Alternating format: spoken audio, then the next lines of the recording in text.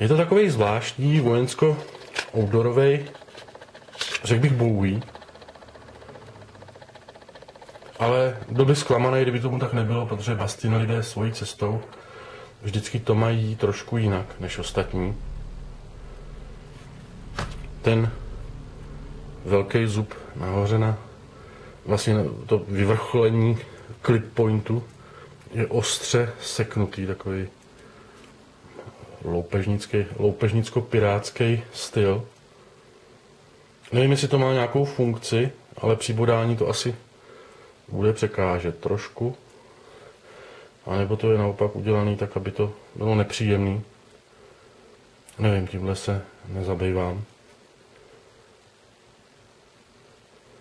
Rukojeť mě připovídá některý starší sogy, si vzpomínáte na Pentagon a příbuzný modely, ta zakulacená rukojeť. Ta byla vždycky šikovná, protože se dobře přehmatává a dá se třeba opřít i takhle do dlaně a podobně.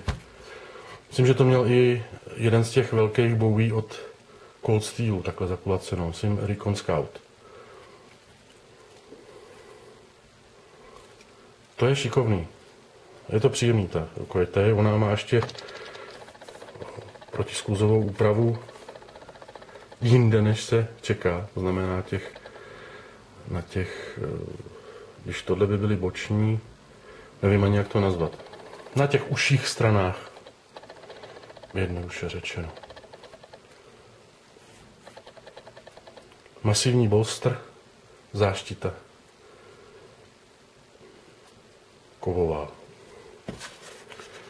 Kydexový pouzdro s teklokem.